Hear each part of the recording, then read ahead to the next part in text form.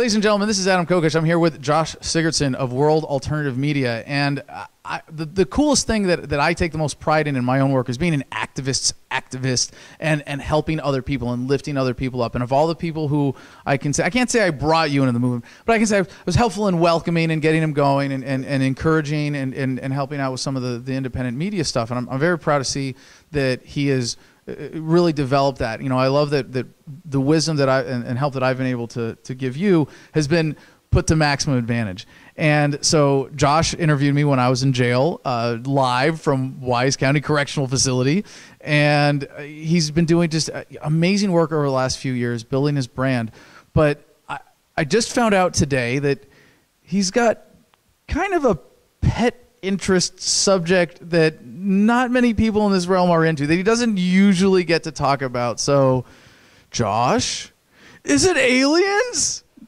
I cannot say if it's aliens, but it is certainly strange, and I will go into that for you, Adam, because that's the worst setup I could have given you for this. But we'll start with the story of, of how you got onto this topic. Yeah, so um, a few weeks back, I was feeling really sick, and I historically I've loved engineering, I've loved architecture. I went to college for architecture. You know, I don't usually brag about going to a public indoctrination camp, but if I'm going to brag about it, it was an interesting class. So, with that said, I learned a lot about architecture there, and in recent weeks, I was very sick. I was in bed, and you know, I finally got a chance to watch some YouTube videos. Us in U- on YouTube, we don't really get the chance as much to watch the videos as we are just constantly making them. Uh, so it, it, was something that I took some pride. The struggle is real. I make more videos than I watch. It's, yeah, it's it sucks. I wish I could be a consumer sometimes and just enjoy it. But it's really cool you had that opportunity and, and got into something here. Yeah, absolutely, and it was nice. So you know, I'm I'm binge watching YouTube videos, which is like the kind of thing I used to do with yourself and many others in this movement was early on just get inspired by stuff. And of course, I've been trying to inspire since and looking into a whole bunch of strange videos on YouTube. I bumped into a few channels that kind of made me question the history of humanity actually, which was something that, you know, I never really took a second thought for. You know, we all think about what are the origins of humanity, but one of the things I saw was involving, you know, the ancient pyramids of Giza and Machu Picchu, Peru, and all these things that people like Graham Hancock, uh, you know, Brien Foerster, and several other big names uh, talk about. And one of the things that really caught my eye was the Sphinx of Egypt. Well, this is this amazing symbolic, you know, statue, I guess you could call it, uh, monolith that people have been looking at for thousands of years. And uh, for years, for many hundreds of years, it's been considered to be about 4,500 years old. Never any proof of that, um, but they assumed it, so it must be real. And that kind of led me down this rabbit hole where they have they they reported on how there's you know water erosion around the Sphinx. Now, if you study that area of land you have to go back about 12,000 to 12,500 years to find a time where there was water flowing through the Sahara when it was a jungle. So the idea of it having water erosion made absolutely no sense to me. So I kept looking into it. I'm looking at how you know no one's allowed to look into the underground chambers under the Sphinx, even though they found them. Uh, the government in Egypt won't let anyone you know truly excavate or look into the pyramids. And it started getting me thinking. You know, there's a lot of significance about uh, pyramids in, I guess you could say government uh, when you look at you know it's on the dollar it's on the dollar and i've you know, it's the Eye of Horus, you know, the whole idea that Horus was, of course, a pharaoh in Egypt uh, long, long ago, son of Osiris, whose tomb is between the Sphinx and the pyramids. And in this tomb, which I don't think they've really opened in like 20 years or so, you go down three layers, like many hundreds of meters underground, and you find a moat with water and obelisks in it and this huge tomb. And it was on an NBC special that I actually saw this from like 1996 or something. And I just started getting thinking, they saw tunnels in the video, but uh, the guy who was in charge, Zahi Hawass, who was the head of the antiquities department in Egypt, said, oh, there's nothing down there. Don't, don't even look uh, over there.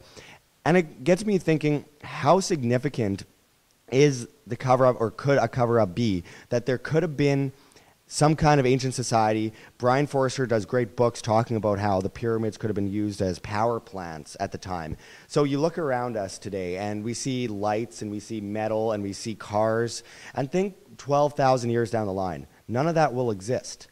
But the stone structures we create will. And it made me think, you know, such precision cutting, such, I, am not saying aliens, again, I'm not saying aliens, because I have absolutely no evidence of that. But just there's a lot of evidence, uh, yeah. maybe not proof, but there, no, and, and I said that to, to make fun of the subject because a lot of people who bring the fantasy conspiracy minded attitude to this go, well, I can't figure it out, therefore it must be aliens. And that's a real intellectual cop out. But the approach you're taking obviously is, is a little different. And, and looking at from, from the perspective of, gee, who has, who has an interest in keeping these stories yeah. secret? Well, uh, what I found interesting is that you know they often say that the pyramids of Egypt were built as tombs, and it's just absurd to think about. You know, lifting these several like hundred ton blocks and just piling them up for who knows how long. They said it took sixty years or something. The idea of building that whole thing for to put a dead body in no. They have a thing called the Valley of the Kings in Egypt. You know, there's crazy amounts of tombs. That's where most of the pharaohs went. Uh, I don't think that they buried them in the in the in these tombs in the pyramid. So you go inside the pyramid. It's almost like one millionth of an inch uh, precision in these rooms, and unbelievably just built uh, better than anything we build today. And then there's like this dumpy old, uh, you know, thing that looks like a bathtub made out of stone that's like badly carved. And apparently there's a dead body in there at some point, and you know that was the tomb. And that was their basically entire proof, their all their evidence that that is what the pyramids were built for. And they recently found, you know, some kind of inert gases or liquid in another part of the Great Pyramid of Giza that they refused to look into. The government says, "Oh yeah, we know about that," but it's it's nothing. Well, you've never looked, have you? No, it, it, there's something there, and obviously it's significant. It's not, you know, another tomb or whatever you want to call it. It's an inert gas or a, a liquid. Why? Why would that be almost at the top of the pyramid? So. I know this is a very strange conversation, Adam, but I. no, no, no, I, I mean, I, I'm not saying it's government, but it's government. It's government. Yes, absolutely. So, I mean, there's all these excavations, and it brings me to my point, which is I believe there could have been an ancient civilization that was much more transformed than anything we thought of 4,500 years ago. I'm thinking 12,500 years ago, and something happened to wipe them out. Now, this isn't uh, as much of a conspiracy theory as it is, uh, you know, an interest in the origins of humanity. Well, it's a history theory where there are distinct gaps in our knowledge. And, and what's surprising to me hearing you talk about this is that it's not just, well, we looked into it and we don't know, and the best minds of our time haven't figured it out, and you know they're working on it, and maybe we'll get better answers eventually. Because if they could say that convincing, like, is that, that that's what I grew up with as an understanding as a kid, right? I think that's that's kind of what we all get from well the government officially sanctioned historical societies and excavations and permission to da da da da da. But what you're saying is that there is a, a distinct trend of suppression of research in a lot of areas regarding ancient civilizations and their technologies and obviously in their architecture that's actually being suppressed by government. Yeah, if you look around the pyramids, there's a lot of tunnels that are just perfectly built. There's no reason for them. Uh, some of them are too small. No known reason. No known reason for them. Currently known reason. Yeah, you can't go through these tunnels. They're way too small for humans to fit through, but they go just meters and meters and meters, hundreds of meters, and it's just absurd to think that, you know, well, maybe people were super small back then. I don't know, just like jump to crazy conclusions. And nearby the pyramids of Giza, we have uh, other pyramids that were huge inside, in size that exploded.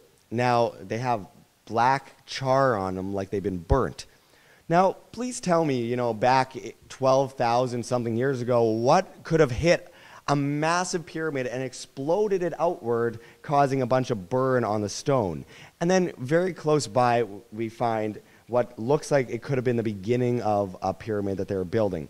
Massive rocks going down, uh, you know, I, I believe a few hundred feet.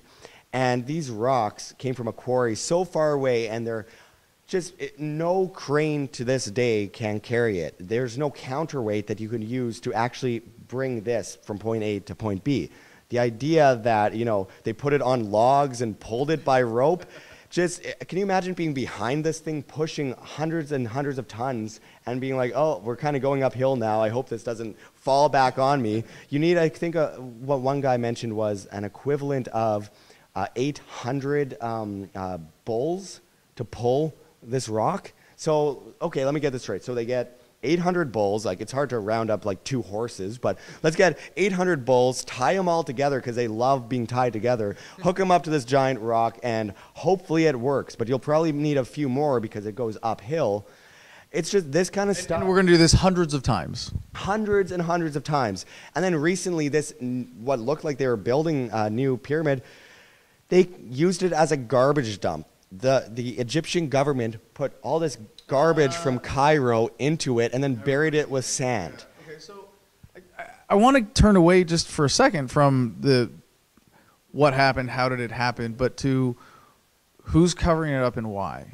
And if it's today's governments that say we don't want you to know the real story of this history, I don't think the suppression of technology itself is enough because they would want that technology for themselves. We would see them using it. We would see some new company that has a monopoly on giant stone manipulation, right? Because there's there's probably a market demand for that. Someone would want that. I mean, if only you know an egomaniacal American president who just wants you know thinks the Washington Monument isn't big enough, but there's in in in, in our realm of of socio-political analysis are, are they hiding just the stories of rebellion and humanity seeking freedom in the past that that have been suppressed that are necessary to keep people suppressed today. Like it, it, it seems like that's that that's the direct connection. It's not that they had this technology or that they had this industrial capacity. It's that maybe there was a maybe maybe maybe maybe those theories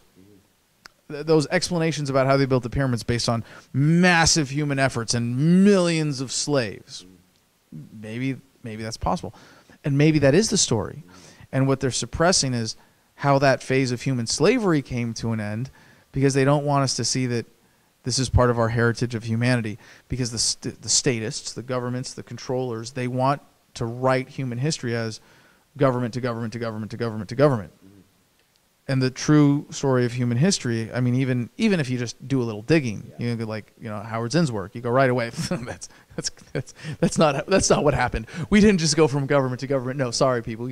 So in, in regards to the stuff that you're talking about specifically in egyptology what's the motivation? What are, what are they really hiding? Is it something like that? Well, I mean, looking back at, uh, I think it's the 1940s, uh, the United States uh, military got their first major stealth fighter, and no one knew about it until I believe the late 90s, early 2000s, around that period when it came out. You, you can imagine what they have now that no one knows about.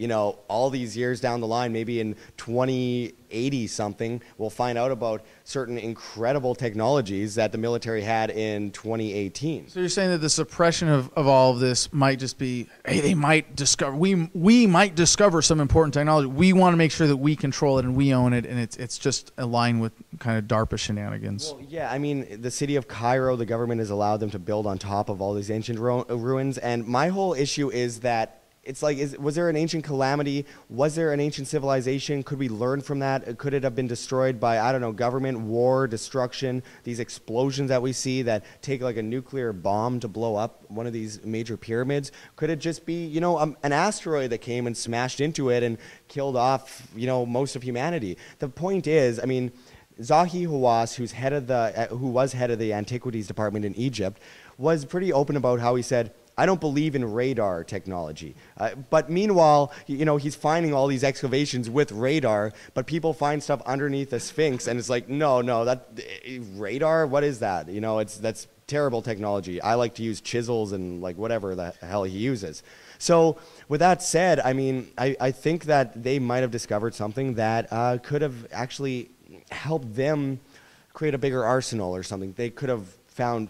I, that's a question. That is why I want to know because there are there's obviously a, a push to suppress the information, and when there's a push to suppress information, I want to know about it.